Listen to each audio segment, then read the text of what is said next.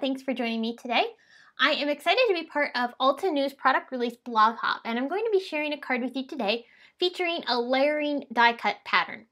So I ended up creating this card based on an apron that I saw, and I really loved this. I found this at a local shop, and I loved the pattern, so I ended up taking a picture of it. And it was these beautiful bold blue flowers on a white background, and it had some other images kind of ghosted into the background, very light and faint, but it added some really interesting texture. So I wanted to create something that mimicked that apron, so I decided to use some of these new products from Altenew. These flowers are the rose filament dies and are brand new from Altenew, and I love the sketchy feel of them. They have a really beautiful loose design, and I think you can use these in a lot of different ways. I've been really enjoying incorporating these into my cards lately. I've got quite a few different ideas, and I also have done a few different things with these dies, and I'll be sharing these in the future. So what you're seeing me do here is I'm die cutting a bunch of these flowers. I die cut all of them four times and I'm layering them together to create a more dimensional element.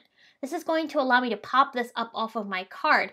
Not with foam tape, but by layering multiples of these together that creates a more sturdier die cut and it also adds relief off of the card because it's multiple layers of cardstock. So that's how I ended up creating the flowers and I did that for all of them. So I just die cut all of them four times from blue cardstock and then went ahead and layered them all together. Now the apron, as you can see, features some ghosted images behind the bold flowers and images, and it also features some text. So I want to be able to incorporate those into my design also.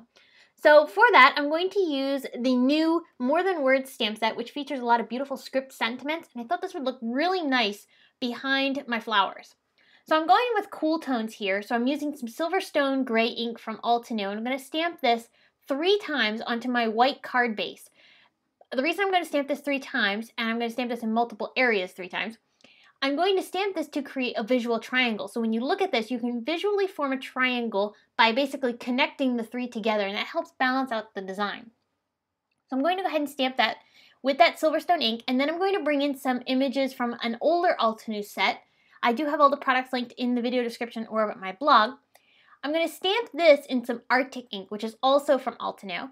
And I'm going to end up stamping this multiple times because Arctic ink does stamp extremely light.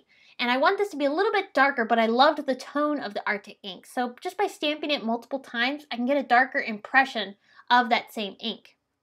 I stamped this in some random areas, trying to keep it more focused around the words because I do want to have some wide open white spaces, just like the apron did. I'm also going to bring in some of the smaller images from that same stamp set that the flowers were from and I'm going to stamp these multiple times to be able to create that darker impression of the Arctic ink. Now the apron didn't feature this, but I do want to add some splatters to the background just to add a little bit of extra darker pops of color and also a little bit more texture.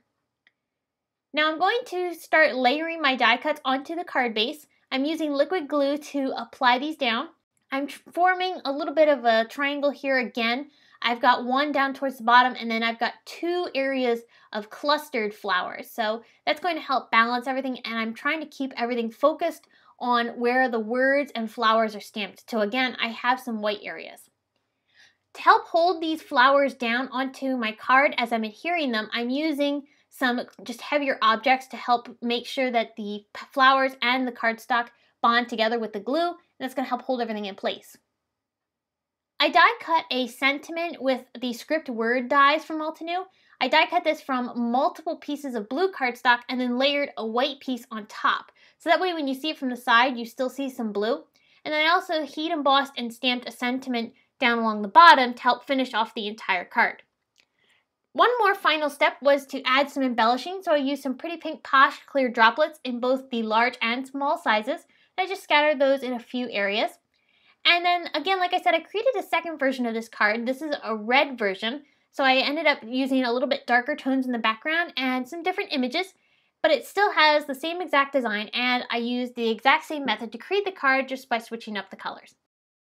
If you're watching this on YouTube, be sure to check the video description below because I do have a link over to my blog as this is part of the Altenew product release blog hop.